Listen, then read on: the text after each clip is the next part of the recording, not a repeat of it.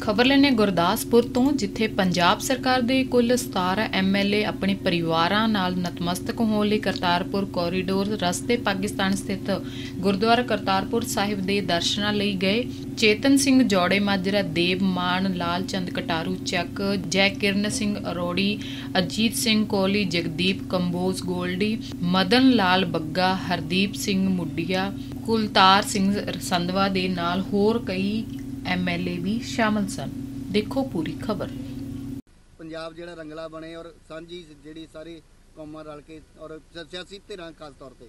ਦੇਖੋ ਜੀ ਇਹ ਸਿਆਸਤ ਹੀ ਹੈ ਜਿਨੇ ਇਹ ਲਾਈਨ ਖਿੱਚੀ ਹੈ ਔਰ ਗੁਰੂ ਸਾਹਿਬ ਦੇ ਚਰਨਾਂ 'ਚ ਅਰਦਾਸ ਕਰਾਂਗੇ ਵੀ ਇਹ ਜਿੱਥੇ ਸ਼ਾਂਤੀ ਉੱਥੇ ਚੜ੍ਹਦੀ ਕਲਾ ਉੱਥੇ ਤਰੱਕੀ ਹੈ। ਸੋ ਦੋਨਾਂ ਦੇਸ਼ਾਂ ਦੇ ਵਿੱਚ ਸ਼ਾਂਤੀ ਹੋਵੇ ਦੋਨਾਂ ਪੰਜਾਬਾਂ ਦੀ ਚੜ੍ਹਦੀ ਕਲਾ ਹੋਵੇ ਸਾਡੇ ਦੇਸ਼ ਦੀ ਚੜ੍ਹਦੀ ਕਲਾ ਹੋਵੇ, ਸੋ ਇਹ ਸ਼ਾਂਤੀ ਦੇ ਵਿੱਚੋਂ ਹੀ ਚੜ੍ਹਦੀ ਕਲਾ ਹੋਣੀ ਸੋ ਇਹਦੀ ਅਰਦਾਸ ਕਰਾਂਗੇ ਜੀ। ਵੈਸੇ ਵੀ ਸਾਡੀ ਸੰਸਕ੍ਰਿਤੀ ਵੀ ਵਸੁੰਧਰੇ ਕੁਟੰਬਕਮ ਦਾ ਸੁਨੇਹਾ ਦਿੰਦੀ ਹੈ, ਤੇ ਅਸੀਂ ਤਾਂ ਸਵੇਰ ਨੂੰ ਵੀ ਤੇ ਸ਼ਾਮ ਨੂੰ ਵੀ ਅਰਦਾਸ ਹੀ ਸਰਬੱਤ ਦੇ ਭਲੇ ਦੀ ਕਰਦੇ ਹਾਂ ਜੀ। ਆਖਰੀ ਸਵਾਲ, ਪਹਿਲਾਂ ਵੀ ਦਰਸ਼ਨ ਕਰਨ ਦਾ ਮੌਕਾ ਮਿਲਿਆ ਹੋਵੇਗਾ, ਪਰ ਅੱਜ ਵਿਧਾਨ ਸਭਾ ਦੇ ਸਪੀਕਰ ਦੇ ਤੌਰ ਤੇ ਔਰ ਪਰਿਵਾਰ ਸਮੇਤ ਜਾ ਰਹੇ ਉਸ ਚੀਜ਼ ਨੂੰ ਲੈ ਕੇ ਮਨ ਦੇ ਵਿੱਚ ਕੀ ਚੱਲ ਰਿਹਾ?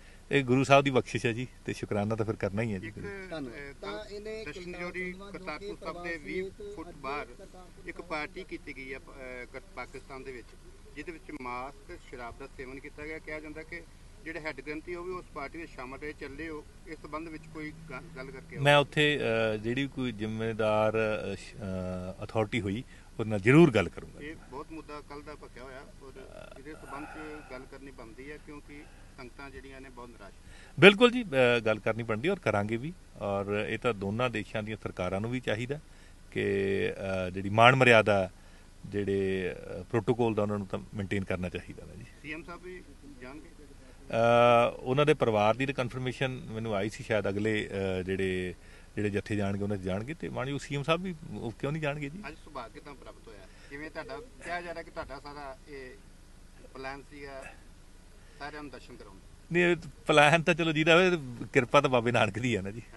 ਬਾਬੇ ਨਾਨਕ ਨੇ ਕਿਰਪਾ ਕੀਤੀ ਉਹਦੇ ਸ਼ੁਕਰਗੁਜ਼ਾਰ ਹੈ ਉਹਦਾ ਤਾਂ ਦੇਣਾ ਹੀ ਨਹੀਂ ਦੇ ਸਕਦੀ ਜੀ। ਬਹੁਤ ਬਹੁਤ ਧੰਨਵਾਦ। ਜੀ। ਬਿਲਕੁਲ ਜੀ ਬਹੁਤ ਖੁਸ਼ਕਿਸਮਤੀ ਹੈ ਵੀ ਮੈਨੂੰ ਪਹਿਲੇ ਬੈਚ 'ਚ ਜਾਣ ਦਾ ਮੌਕਾ ਮਿਲਿਆ।